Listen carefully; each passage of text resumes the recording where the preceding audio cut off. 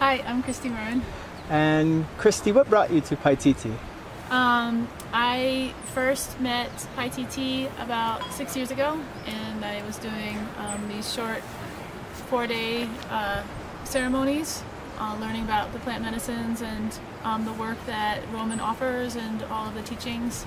And I really appreciated it, but I also knew that I needed to do the full month um, embodying true nature uh, retreat. So finally found the time to do it in my life, and that's why I was here. So um, came for uh, a significant amount of um, work that I wanted to do on myself personally, um, and how to bring some of the teachings and um, what I've learned back into my community at home. Mm, can you speak to maybe what some of those things you were looking for? So before I came here, um, there was definitely some personal things in my life that I wanted to discover or continue working on or maybe find some understanding with. Um, I spend a lot of time um, on my own doing, um, I was uh, an only child growing up and um, spend a lot of time on my own and I have not ever really maintained a long-term relationship and uh, and that's always been a challenge for me. I'm uh, get, gotten to an age where I'm no longer uh, 45 years old, so no longer um, able to pretty much have children and um, the family life, and just wanted to discover my true nature and um, how I can navigate through my life um, without having the feeling of loneliness or isolation or try to understand um, how I can bring love into my life in other ways besides trying to find this um, like partner or relationship that um, not seem to be working. So yeah, so I came here with a, just trying to look for this feeling like coming here feeling like I have a missing link or some kind of slippery gear and trying to understand what that is and um, so yeah, that's what I came here for. Was there anything with uh, Paititi's approach that you particularly resonated with or found beneficial in your yeah. process? The thing that I there's a lot of things I find so beneficial with Paititi is um, that I find that the sharing circles are the most important to me in my learning process because I'm learning through everybody else's experiences as well. Um, understanding that it's not just me that's suffering with my stuff. It's actually other people are going through almost the same exact thing that I'm experiencing. Um, and it's their experience, but my experience just really, their, through their shares and through their process, I'm learning through my process um, that there's other people in the world that are suffering and um, and that my suffering is their suffering and that as we learn how to bring in that love and compassion and the opening of the heart space and the shared heart space and learning about that, that's something that has been so beneficial for me.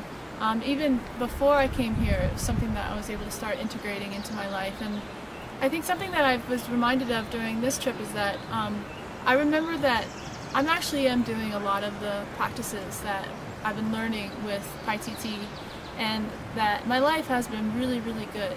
Um, over the time. And coming here was just a huge remembrance of that, of the shared heart and uh, being in community of um, with the intention of just becoming a better person and being able to communicate better and um, being transparent. Um, also utilizing the form of the I, um, knowing that it's actually it's my experience and that I'm talk I'm speaking not for everybody else, but I'm speaking for just myself, and that actually is really healing um, for me to know that that I, I am having, you know, that my experience is validated as well. So the um, Tibetan Buddhist teachings are incredible. A lot of the um, texts that Roman brings about are always just really perfect for the time as we're learning different aspects of, of our lives and um, what we're exploring and um, especially like the healing nature of um, just how our emotions and our thoughts and our feelings and our past um, our past experiences really resonate with maybe what our physical body is doing and just trying to make those connections and um, the practice of remembrance has been profound for me throughout this trip i've had the space and time to go into some pretty um, dark places in my life or places that I haven't really thought about in a long, long time, or maybe I, I don't even remember thinking about that or that it actually happened. And so when those come through, the practice of just bringing love and compassion and forgiveness into those areas and forgiveness for people that might have had an effect on me in my life has been just a huge, a huge um, way for me to heal and accept that my life is beautiful. And even though it's been challenging, those challenges are really what have been helping me become who I truly am and have compassion for others. That that there is others other people are going through tough times and understanding and feeling for that, having a feeling for that.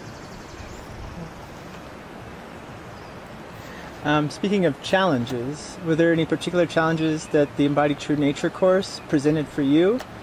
Um, or something that you found that you had to work with, some perennial challenges or anything? Yeah, the challenges for me were cravings. I was craving pizza the whole time, and it's funny because I hardly ever eat pizza. Um, but boy, it was kind of something that maybe carried me through some times of uh, space that I didn't want to deal with. And um, so that was one thing that was hard.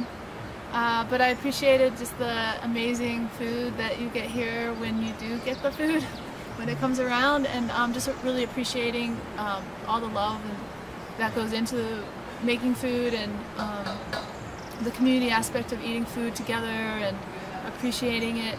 Uh, the uh, like there's several challenges. I mean, I had a lot of homesickness uh, during the time that we spent um, being mindful. There was like three days where we were not eating food that had salt or any kind of spices in it, and so really bland foods. And spending three days um, kind of on your own and being silent was was pretty easy for me. But at the same time, I got really homesick, and it definitely brought up some um, pretty old uh, memories for me that needed to come up. And um, but the homesickness was really was challenging because I just wanted to go home, and and I, that reminded me that I love my home and my my life at home, and so that was really you know in a way like the challenges were really beneficial because I saw what was the most what what aspects of my life that were really uh, endearing and what I appreciated in my life,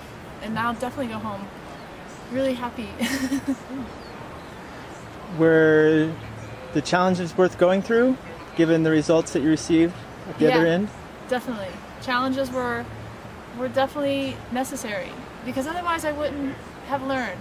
If it would have been an easy month, then I would have felt disappointed that I didn't get the challenges. I definitely came here to be challenged, to see my true self, and uh, the challenges of being even triggered by the par- other participants um, throughout the month really taught me how to see what was triggering me and what was in myself that was getting triggered.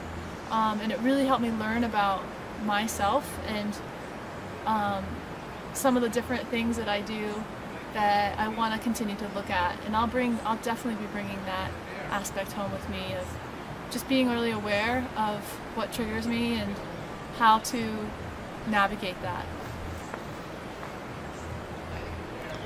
Um, and taking other things back home, are there any particular things that you see yourself integrating into daily life more and more?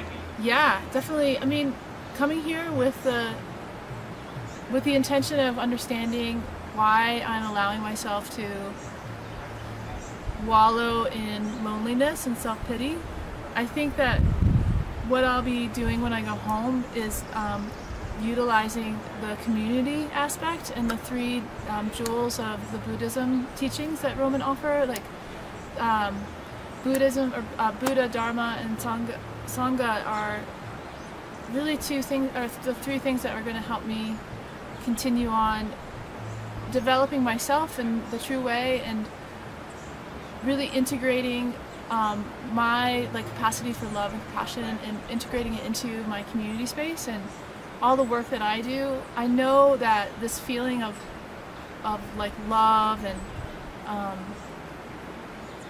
there's a certain energy that comes through me when I'm working in my community that takes takes over that loneliness, and so I just that creative manifestation, you know, it's when you really open your heart up, it's it comes through in such a beautiful way, and um, anytime that I feel self pity or loneliness, I'm going to go back to my journals that I wrote here and remind keep reminding myself that this is going to be what I am falling in love with is myself and my community. And that's what's going to carry me through the rest of my life. And I'm really excited about it because now I have the tools to to continue being happy. And and I know that self-pity will come through and that's part of the work that you do. It just the work continues on and the journey continues on and it's just the beginning. And um, so yeah I'm really excited to go home. And I'm really excited to just be and rest within myself and continue remembering everything that I learned here. Because I feel like I was a big sponge that just soaked it all up and I'm excited to see how it goes and be not afraid of feeling that self-pity or that loneliness because it's just a part of who I am and it's a part of my suffering and for as deep as my sadness can be, I know now that my love and compassion is just as deep and it's in it's part of the same big ocean. So is that good? Um, is there anything else you'd like to share uh, about your experience or for people that are potentially looking to come to an Embody True Nature retreat in the Yeah. future? Um, I guess what I would say to someone who is considering coming to Paititi is that to get really ready to become very raw and be very vulnerable, like be ready to touch into vulnerability of the self because that's the only way that you're really going to break through and discover yourself is to face your fear of exposing your rawness to others. I mean, during the whole process, the sharing circle was so beautiful, and I felt like I was in like ayahuasca group therapy the whole time. And I've never done that for myself, where I've never been able to really let people see me because I get really shy. I mean, like I have huge shyness, and and I'll, you know, I'll definitely will continue working with my shyness, but to to really explore how it feels to be seen and to be vulnerable was probably the key for me to actually get into my own true nature and and love myself for that shyness and love myself for having self-pity and love others for having for them having their own stuff and their own shyness or vulnerabilities. So yeah come with come with some vulner being ready to be vulnerable is a big thing for people i think at Paititi and being ready to make changes and also be ready to realize that those changes are ongoing and to that they that knowing that you're going to be coming back with a pretty good sized toolbox but knowing that when you return home after a month like this the work continues and that it's just a lifelong or maybe many lifetimes of work and adventure and um, new experiences